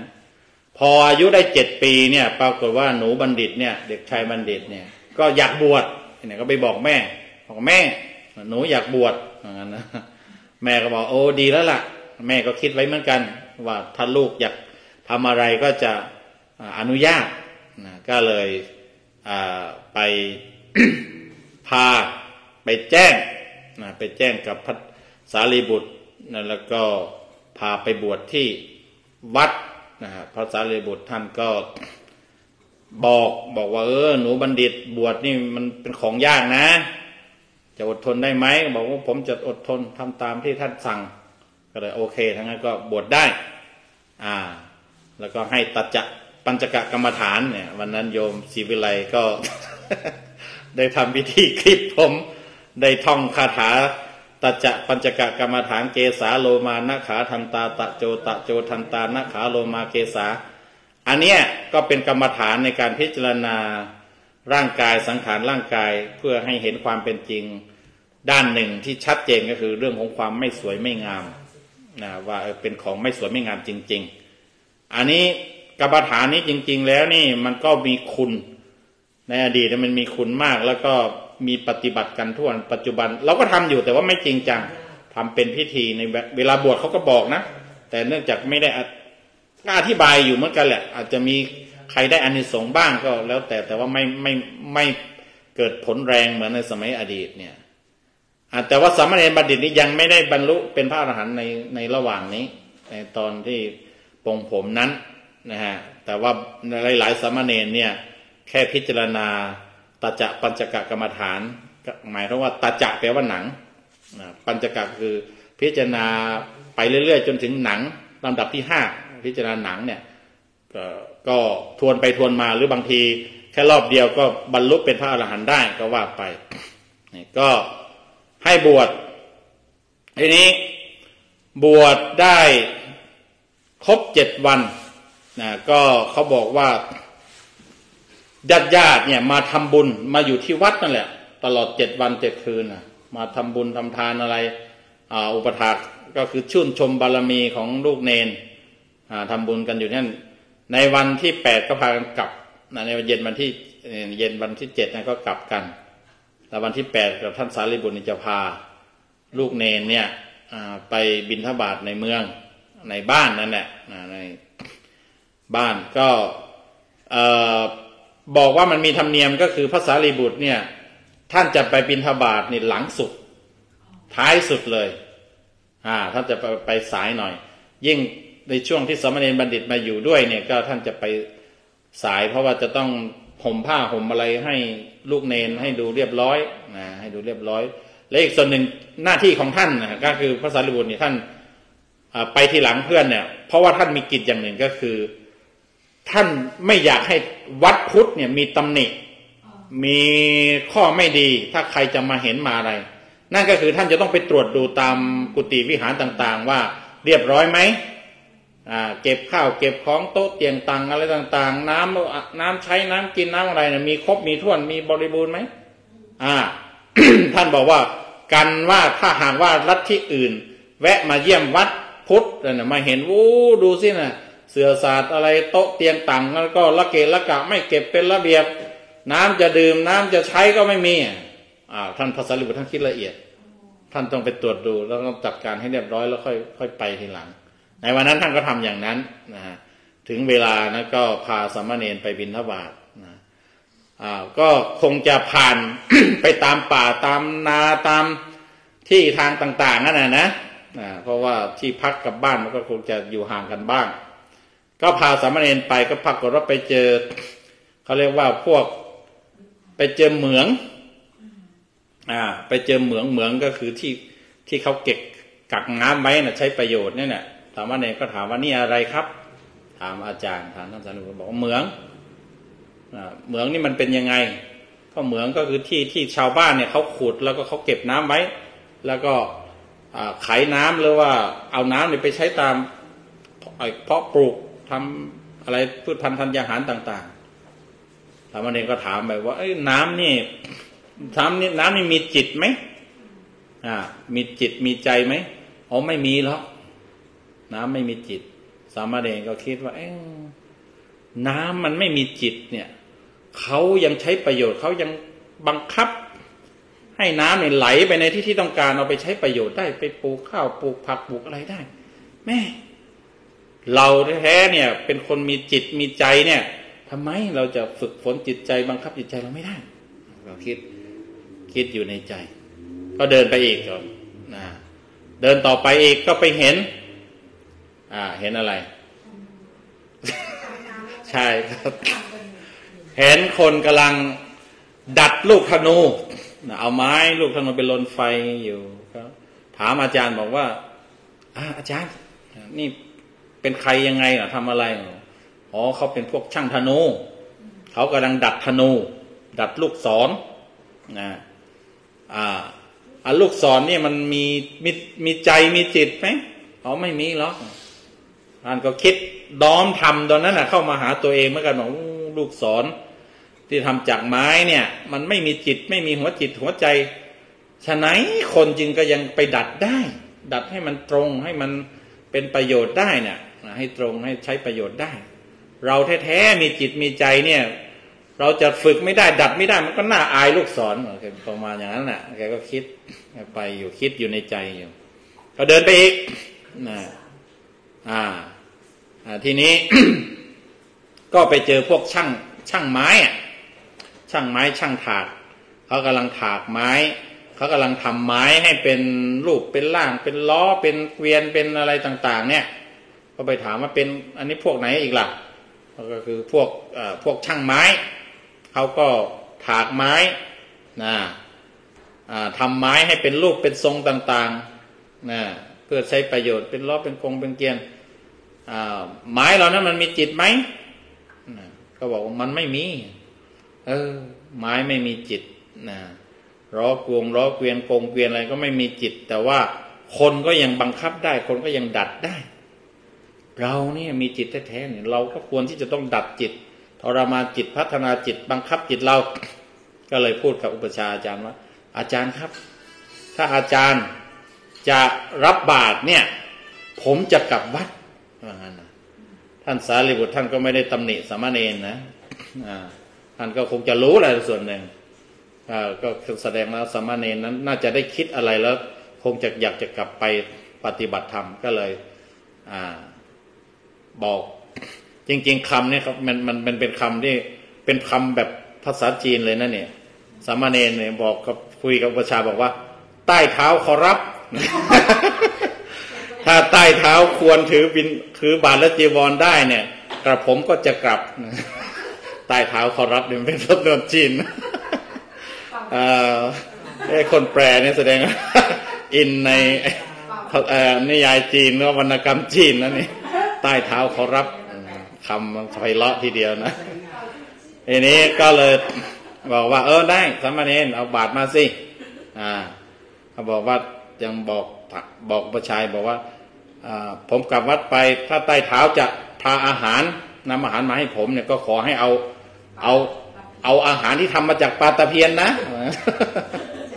มีการระบุด้วยบอกว่าโอ้ท่านพระเนรแล้วอาจารย์จะได้จากที่ไหนล่ะ โอ้ไม่ต้องห่วงอาจารย์ ถ้าไม่ได้ด้วยบุญของอาจารย์ก็จะได้ได้ด้วยบุญของผมก็เลยกลับวัดนะทีนี้อาสนะของเท้าสักกะก็ร้อนอีกรอบสองเนี่ยในยุคนี้ร้อน อ่า น่าจะคนละองค์กันหรือเปล่าก็ไม่แน่ใจนะเนี่ยเพราะเท้าสกกะตำแหน่งเท้าสกกะบางทีมันหมดอายุไขก็เปลี่ยนให้องค์อื่นมานะ อ่า ก็เท้าที่นั่งของเท้าสกกะก็แข็งอีกแหละทีเนี้ยแบบว่าเอ๊ะมันมีเหตุอะไรเนี่ย ก็มาใคร่ควรดูว่าโอ้สามเณรติดสะเอาสามเณรบัณฑิตสามเณรบัณฑิตนี้ เนี่ยได้บทเรียนจากการกำลังจะไปเดินบิณฑบาตเนี่ยได้บทเรียนจากสิ่งแวดล้อมจากเห็น คนไขน้ำจากเหงืองเห็นช่างลูกศรช่างธนู คนทำธนู ดัดลูกศรเห็นช่างไม้ ดัดไม้นี่ก็น้อมมาที่จะฝึกจิตฝึกใจตัวเอง สอนจิตสอนใจตัวเอง โอ้เราต้องไปช่วยไปช่วยเสร็จแล้วก็เลยไปเรียกเท้าจตุมหาราชนะไม่ได้ไปคนเดียวนะเท้าเรียกเท้าจตุมหาราช ในหัวหน้าเทวดาชั้นจตุมหาราชเนี่ยทั้งสี่ท่านเนี่ย บอกว่าเธอทั้งหลายนี่ยจงไปประจำในป่าทิศทั้งสี่บริเวณใกล้วัดอะ ไปทำอะไร ไปไล่นกหนี นกเสียงจอแจร้องอะไรเนี่ยก็ให้ไล่ไปให้หมด ให้มันเป็นป่าให้เป็นบรรยากาศที่เงียบสงบนะให้เหมาะสำหรับการลูกเนรจะทำสมาธิจะปฏิบัติธรรม ยังไม่พอนะท่านยังไปสั่งจันทเทพบุตร และสุริยะเทพบุตร สั่งมาบอกว่า พวกท่านทั้งสองจงไป บอกว่าคือไปจับเขาไปจับพระจันทร์พระอาทิตย์ไว้นะอย่าให้อย่าให้หมุนอะก็บอกพูดง่ายๆคือว่า ให้เวลามันหยุดเนี่ยเขาเรียกว่าหยุดเวลามันมีของแท้นะมันมีอยู่จริงนะอ่าเท่าสกกะนี่แหละอ้าวบอกว่าเอาจันทัศคือจริง ๆ ในมุมมองนะแล้วก็มีปรากฏในพระไตรปิฎกเหมือนกันนะสุริยสูตรจันทสูตรเนี่ย คือพระจันทร์และพระอาทิตย์เนี่ยที่เรามองเห็นเป็น ก้อนหินกลมๆมีดวงไฟดวงสว่างเนี่ย ในนำมุมมองของพุทธเราถือว่าท่านเป็นเทวดานะอ่าจันทเทพบุตร สุริยเทพบุตร มันมีเทวดาอยู่ที่นั่นหรือว่าตัวพระจันทร์พระทิตย์เป็นเทวดา สั่งไว้เลยบอกว่าหยุดทำหน้าที่ห้ามหมุน ให้ขยับห้ามห้ามขับเคลื่อน ให้หยุดอยู่ อ่า แม้กระทั่งพระลาพระทัพสกกาเองนี่ก็ไปที่ที่กุฏิที่สามเณรปฏิบัติธรรมเนี่ย เขาเรียกว่าไปยืนไปยืนอยู่เขาเรียกว่าเขาใช้คำว่าไปยืนรักษาอยู่สายอยู่สายอยู่คืออะไรเขาบอกว่าคือสายที่จะเป็นสายโซ่สายเชือกอะไรที่จะไปคล้องกุญแจกับคล้องประตูไว้ล็อกไว้น่ะไม่ให้ใครมาเปิดมาอะไรน่ะท่านก็ไปเฝ้าอยู่ตรงนั้นนะอ่า แล้วก็พระพุทธเจ้าเองเนี่ยก็ไม่ได้นิ่งดูได้พระพุทธเจ้าก็ในเหตุการณ์เช้านั้นท่านก็รู้ว่า โอ้เช้านี้นี่สัมมาเนรนี่ กลับจากบิณฑบาตจะมานั่งทำสมาธินั่งปฏิบัติธรรมเจริญนิพพานา แล้วเหตุการณ์ก็ท่านก็พิจารณาดูว่าสามเณรนี่จะบรรลุได้ไหมจะบรรลุได้ แต่ว่าจะบรรลุก่อนที่จะได้ฉันเพลหรือเปล่า ได้ฉันอาหารไหม หรือว่าจะหลังท่านก็บอกว่าก่อน อ๋อ ถ้าก่อนนี่มันมีเหตุอย่างหนึ่ง คือท่านสารีบุตรเนี่ย จะกลับมาก่อนเอาอาหารมาถวายเนนก่อน แล้วก็จะทำให้มันรบกวน รบกวนการปฏิบัติธรรมสามเณรแล้วสามเณรก็จะได้บรรลุแค่ผลสามคือเป็นแค่พระอนาคามีจะไม่ได้เป็นพระอรหันต์พระเจ้าก็เลยรู้บอกโอ้อย่างนี้เราก็ต้องไปช่วยด้วย อ่าพระเจ้าวันนั้นก็เลยว่ารีบไปบิณฑบาตแต่เช้าแล้วฉันแต่เช้าเตรียมการไว้เลย ท่านจะดักรอดัก ดักสนทนาธรรมกับพระสารีบุตรเพื่อทวงเวลาท่านสารีบุตรท่านก็ไปบินทบาทอะไรได้อาหารจากปัต ปัตตะเพียนอะไรนะอาหารทำจากปัตตะเพียนด้วยบุญอนิสงส์ที่ได้ทำไว้ครั้งก่อนๆโน้นสมัยเป็นนายมหาทุกตะที่ไปช่วยชาวประมงร้อยปลาขายแล้วก็เขาให้ปัตตะเพียนมาเอามาทำอาหารถวายพระพุทธเจ้าแล้วก็มีอนิสงส์จนสิ้นพระชนดรหนึ่งก็ยังไม่หมด ปัจจุบันชาตินี้ก็ยังได้ได้อนิสงส์อ่ามีคนถวายปัตตะเพียนอยู่ประจำ นะเออแสดงว่าปลาตะเพียนนี่ก็ปลาที่มันมีมานานเหมือนกันนะปัจจุบันนี้เขาก็นิยมเลี้ยงกันนะควบคู่กับปลานินเนี่ยพวกเอ่อพวกทำเกษตรอ่าผสมผสานเกษตรยุคใหม่เนี่ยปลานินกับปลาตะเพียนต้องเลี้ยงเพราะว่าเป็นปลาที่เป็นปลากินพืช เราไม่ต้องลงทุนไปซื้อหัวอาหารให้ทางยงทางหญ้าพ้นผักเผือกอะไรต่างๆเนี่ยโกยลงไปเถอะนะฟางข้าวอะไรต่างๆ โตแล้วก็อ่าอยู่ได้ ก็ นั่นแหละ พระสารีบุตรก็ฉันแล้วก็เลยทำไทยทำท่าว่าจะเก็บอาหารไป อุปถากญาติโยมก็รู้บอกโอ้ท่านฉันให้เต็มที่ เดี๋ยวจะหอกกลับเดี๋ยวจัดให้อีกต่างหากนะพอพระเถระถวายพระเถระ พระสารีบุตรเสร็จก็จัดปัญหาจัดไออาหารให้อีกสำรับหนึ่งก็รู้ว่าพระเถระคงจะเอาไปมอบถวายให้ใคร นี่ก็รีบมาท่านสารีบุตรฉันแล้วก็ได้อาหารแล้วก็รีบมา คิดว่าโอ้สามมาเณรเราเนี่ยหิวแล้วเนี่ยสายแล้ว อ่าพระพุทธเจ้าก็ไปดักรออยู่แล้วนะอ่าเห็นท่านสารีบุตรมาก็เลยถามบอกว่าท่านสารีบุตร ท่านถืออะไรมา อาหารพระเจ้าข้าอ่าอันนี้เป็นท่านระดับพระอรหันต์พระพุทธเจ้าคุยมันต้องคุยเป็นสาระเป็นเรื่องเป็นราวอ๋อก็ถามว่า อาหารนำอะไรมาท่านนำอาหารมา แล้วอาหารนำอะไรมา อ้าวงงเลยทีนี่อาหารนี่นำสุขเวทนานำเวทนามาให้อ่าแล้วเวทนานำอะไรมา เวทนานี่นำรูปมาให้ แล้วรูปนี่นำอะไรมา รูปนี่นำผัสสะมาให้อ่าเขามีอธิบายบอกว่า อาหารเนี่ยนำเวทนามาก็คือว่า เวลาเรากินอาหารกินข้าวกินข้าว กินอาหารดีๆอะ กินผลไม้กินอาหารอร่อยๆเนี่ย มันก็อร่อยนั่นแหละคือเวทนาอ่าก็คือมันได้รสชาติมันได้ความอร่อยการอาหารจึงนำเวทนามาก็คือว่านำสุขเวทนาก็คืออร่อย แล้วเวทนานำอะไรมานำเวทนานำรูปมา พอได้เวทนาได้อร่อยก็คือได้รสชาติเนี่ยมันไปหล่อเลี้ยงร่างกาย ก็คือหล่อเลี้ยงรูปอะเราก็มีสีสันวันนะดูสดใสอะผ่องใส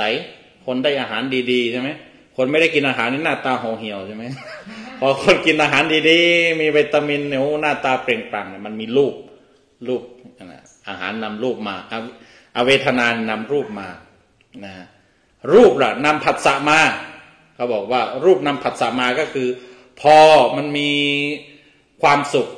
คำนั้นเขาเรียกว่าถ้ากายเนี่ยมันอิ่มนะกายมันอิ่ม กายมันไม่มีความทุกข์เนี่ย มันจะนั่งก็มีความสุข ก็คือเกิดสุขะเขาเรียกว่าเกิดจริง ๆ มันถ้าจะพูดมันก็ต้องบอกว่ามันเหมือนจะเป็นสุขเวทนานะแต่ว่าทีนี้มันมันนั่งนั่งคือนั่งบนพื้นก็เขาเรียกว่าสัมผัสเป็นสุข นั่งก็เป็นสุข นอนอ่าอ่าหลังกายถูกกับพื้นกับอะไรก็เป็นสุขกับความหมายอย่างนั้นก็คือเกิดสุขผัสสะเกิดสุขสัมผัสก็คือ พอรูปมันรูปสวยรูปมันมีความอุดมสมบูรณ์มีความสุขมีอะไรแล้วเนี่ย จะเดินจะเดินจะนั่งคือคือจะกายเราจะสัมผัสจะทำอะไรเนี่ยมันก็เกิดผัสสะที่เป็นสุขที่เป็นบวกที่เป็นคุณความหมายเป็นอย่างนั้น พอเท้าสักอพอพระพุทธเจ้าพูดถ่วงเวลานั่นแหละอ่าแล้วนั้นพอจบคำถามเนี่ยท่านรู้ว่าสามเณรนั้นได้บรรลุนะครับ เป็นผลสี่แล้วนะคือบรรลุจากพระอรเป็นพระอรหันต์และจากอนาคามีเป็นพระอรหันต์พร้อมทั้งปฏิสัมพิทาสี่ปฏิสัมพิทาสี่นี่คือปัญญาแตกฉาน มีอัฏฐปฏิสัมพิทาก็คือรู้เรื่องของความหมายใจความนะเห็นข้อธรรมบทเดียวนี่แตกฉานในอัฏฐาธิบายอะไรชัดเจนเรารู้แจ่มแจ้งเรียกว่าธรรมปฏิสัมพิทา ก็คือรู้หลักการนะรู้แค่ ถ้าได้ยินเรื่องราวอะไร ใครจะพูดปักน้ำท่วมทุ่งพังบุ้งหลงเหลงอะไรก็แล้วก็จับใจความได้นะจับประเด็นได้นะจับเหตุได้ เห็นเหตุก็รู้ว่ามันมีผลมายังไงนี่เขาเรียกว่าธรรมปฏิสัมพิทาแล้วก็นิรุตติปฏิสัมพิทาคือฉลาดในการใช้ภาษานะภาษาจิตภาษาใจภาษาธรรมภาษาอย่างภาษาอะไรก็เป็นคนเชี่ยวชาญแตกฉาน แล้วก็ปฏิภาณปฏิสัมพิทาก็คืออมีไหวพริบแตกฉานในไหวพริบปฏิพานนะ ให้ทันกับเข้ากับสถานการณ์กับอะไรต่างๆเนี่ยแบบทันควันทันทีทันใดได้เนี่ยสามเณรบรรลุเสร็จเรียบร้อยพระเจ้าก็บอกว่าไปเถอะท่านสารีบุตร สามเณรก็คงจะหิวแล้วสามเณรท่านคงจะหิวแล้ว ก็ไปถึงกุฏิก็ไปเคาะประตู สามเณรก็เปิดออกมาก็จะทำหน้าที่ทำวัดของความเป็นสามเณรของเป็นลูกศิษย์นะบอกเขาจับพัดมาวีมาอะไรให้อะก็ท่าน สารีบุตรก็บุตรชาก็บอกว่า ไม่ต้องทำแล้วให้เธอนมาฉันฉันอาหารเสียก็ท่านสามเณรก็บอกว่าอาจารย์อาจารย์อาจารย์ฉันมาแล้ว ท่านก็เลย สามเณรก็เลยฉันข้าวสักตว่าท่านสามเณรฉันเสร็จ แล้วก็ล้างบาตรล้างอะไรก็ พระจันทร์พระอาทิตย์เขาก็เลิกทำหน้าที่ครับงั้นไม่ไม่โหนเวลาเวลา เริ่มปล่อยเวลาละนะ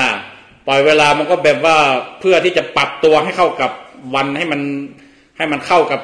ความเป็นจริงนะพระทิตย์พระอาจารย์ก็ดูเหมือนว่าเร่งเร่งรีบเดินหรือว่าวิ่งไปเลยปุ๊บปุ๊บปุ๊บปุ๊บอ้าวบ่ายคอยไปแล้วบ่ายคอยไปแล้วว่างั้นอะอ่าบ่ายบ่ายแก่ๆไปเลยแหละทีนี้นี่เมื่อมันเป็นปรากฏการณ์ดังนั้นในพระที่เห็นรับพอรับรู้สถานการณ์ปรากฏการณ์ก็คุยกันขึ้นมาว่าโอ้นี่มันเกิดอะไรขึ้นเนี่ย อ่า สามเณรเพิ่งฉันข้าวเสร็จเพิ่งจะล้างบาตรเสร็จเนี่ยทำไมป้าอาทิตย์เนี่ยจากเที่ยงเที่ยงอยู่ดีๆเนี่ย มันปุ๊บไปไปถึงบ่ายสองบ่ายสามแล้วล่ะ เอ๊ะมันอะไรกันเนี่ยพระเจ้าก็เลยได้ยินก็เลยมาถามเราคุยอะไรกันบอกโอ้เนี่ยก็พระองค์คุยกันเรื่องเนี้ยเรื่องว่าพระอาทิตย์วันนี้ทำไมมันเคลื่อนไปจังเลยเพิ่งสมณีเรื่องฉันอะไรแป๊บๆเดียวก็หายไปแล้วก็จะเย็นซะแล้วจะบายบายไปค่อนไปเย็นแล้ว พระเจ้าก็เลยบอกว่าเนี่ยเป็นธรรมดา เมื่อมีคนมีบุญกำลังทำความดีกำลังปฏิบัติธรรมเนี่ยนะพวกเทวดาหรือว่าอะไรต่างๆ ก็จะมาช่วยเหลือก็จะมาทำหน้าที่ก็ได้บอกบอกเนี่ยเท้าสกกะก็มาทั้งเท้าจตุมหาราชทั้งสี่จตุมหาราชทั้งสี่เนี่ยไปละเมื่อสามเณรบรรลุธรรมเรียบร้อยตั้งแต่โน้นอะเขาก็เลิกกันละเพราะเท้าสกกะก็กลับสวรรค์ เท้าจตุมหาราชก็ปล่อยนกปล่อยกาได้ละทีนี้อ่าพระอาจารย์ว่าที่ก็ปล่อยอย่างว่านั่นแหละมณฑลอ่าก็ได้บอกว่าพระพระพุทธองค์ก็บอกว่าเนี่ยแม้กระทั่งเราเองก็ต้องมาช่วยเรามาดักสนทนาธรรมกับอาจารย์สารีบุตรท่านสารีบุตร อาจารย์ของสามเณรก็เพื่อที่จะช่วยให้สามเณรเนี่ยได้มีเวลาใคร่ครวญธรรมะแล้วก็จนบรรลุถึงเป็นพระนิพพานบรรลุเป็นพระอรหันต์นะ ท่านก็ได้ตัดภาษิตที่ว่าเนี่ยอุทกันหินยันติเนติกา อุชุการานามยันติเตชะนัง ทารุมนามยันติตัชกา อัตตานังธรรมยันติบันติตาอ่าคนไขน้ำเนี่ยย่อมจะไขน้ำไปใช้ประโยชน์ช่างธนูเนี่ยก็ย่อมจะต้องดัดลูกธนูให้ใช้การได้ดีนะ แล้วก็ ช่างไม้ต่างๆเนี่ยเขาก็จะต้องถากไม้เขาก็ต้องอ่าทำรูปไม้ดัดไม้ไปให้ใช้ประโยชน์ตามที่เขาต้องการ ทีนี้เราเป็นบัณฑิตเราก็จะย่อมจะต้องฝึกตนฝึกพัฒนาตัวเอง อัตตานังธรรมยันติบัณฑิตา บัณฑิตย่อมฝึกตนนะธรรมดาบัณฑิต เช่น สามเณรติดสามเณรบัณฑิตเนี่ยเนี่ยท่านก็ฝึกตนโดยการเรียนรู้จาก ธรรมชาติสิ่งแวดล้อมเนี่ยนะใครๆก็เห็นคนทำคนคนเหมืองคนทำงานในเหมืองใครๆก็เห็นคนทำธนูใครๆก็เห็นคนถากไม้ทำอะไร แต่ไม่มีใครได้คิด ไม่มีใครน้อมทำมาฝึกตน แต่ว่าบัณฑิตเนี่ยย่อมน้อมธรรมะเหล่านั้นน่ะเอาธรรมะจากภายภายนอกน่ะมาสู่ภายในมาฝึกตัวเอง ฝึกตัวเองก็จะได้รับอานิสงส์แห่งการฝึกฝนก็คือได้เป็นผู้สิ้นกิเลส สิ้นความทุกข์นั่นเอง อันนี้ก็เป็นเรื่องของสามเณรบัณฑิตนะลูกศิษย์ของพระสารีบุตรอีกรูปหนึ่งที่เป็นแบบอย่างของการเรียนรู้เอาสิ่งภายนอก สิ่งแวดล้อมภายนอก ปรากฏการภายนอกนั้น น้อมมาสู่ตนเองมาสู่จิตใจมาฝึกจิตใจตนเอง นี่เขาเรียกว่า โอปนัญญิโกเป็นธรรม ที่ควรน้อมเข้ามาสู่ตนนี่เป็นธรรมะตามหลักการทางพุทธศาสนาเราว่าอ่าธรรมะมันจะมีประโยชน์ต่อเมื่อเราน้อมมาปฏิบัตินะถ้ามันอยู่ข้างนอก มันก็ยังไม่เป็นประโยชน์ แต่ว่าถ้าเราเอามาปฏิบัติเอามาสู่ตนเอง มันก็จะเป็นประโยชน์ แล้วก็ได้เป็นบัณฑิต เหมือนกับสามเณรบัณฑิตนั้นอันในวันนี้อาตมาภาพได้นำเรื่องราวของสามเณรบัณฑิตบวช ในวันที่แปดเองนะ บวชตอนอายุเจ็ดปี และในวันที่แปดบวชได้แปดวันนี้ก็เป็นพระอรหันต์ด้วยว่าเป็นผู้ฝักใฝ่ในการฝึกฝนพัฒนาตนเองนั่นเองอันนี้เราได้คติจากสามเณรบัณฑิตก็ขอให้ทุกท่านนั้น เป็นกำลังใจให้ทุกท่านนั้นได้น้อมนำเอาธรรมของพระพุทธองค์นั้นมาสู่ตนมาฝึกตน เพื่อให้ประสบความสุขถ้าได้ทำเช่นนั้นแล้ว ก็ขอให้ท่านทั้งหลายได้พบได้มีส่วนแห่งการเห็นธรรมะขององค์สมเด็จพระสัมมาสัมพุทธเจ้า และก็ได้รับอานิสงส์คือความสุขสงบร่มเย็น จากธรรมะขององค์สมเด็จพระสัมมาสัมพุทธเจ้าด้วยกันทุกท่านทุกคนเทอ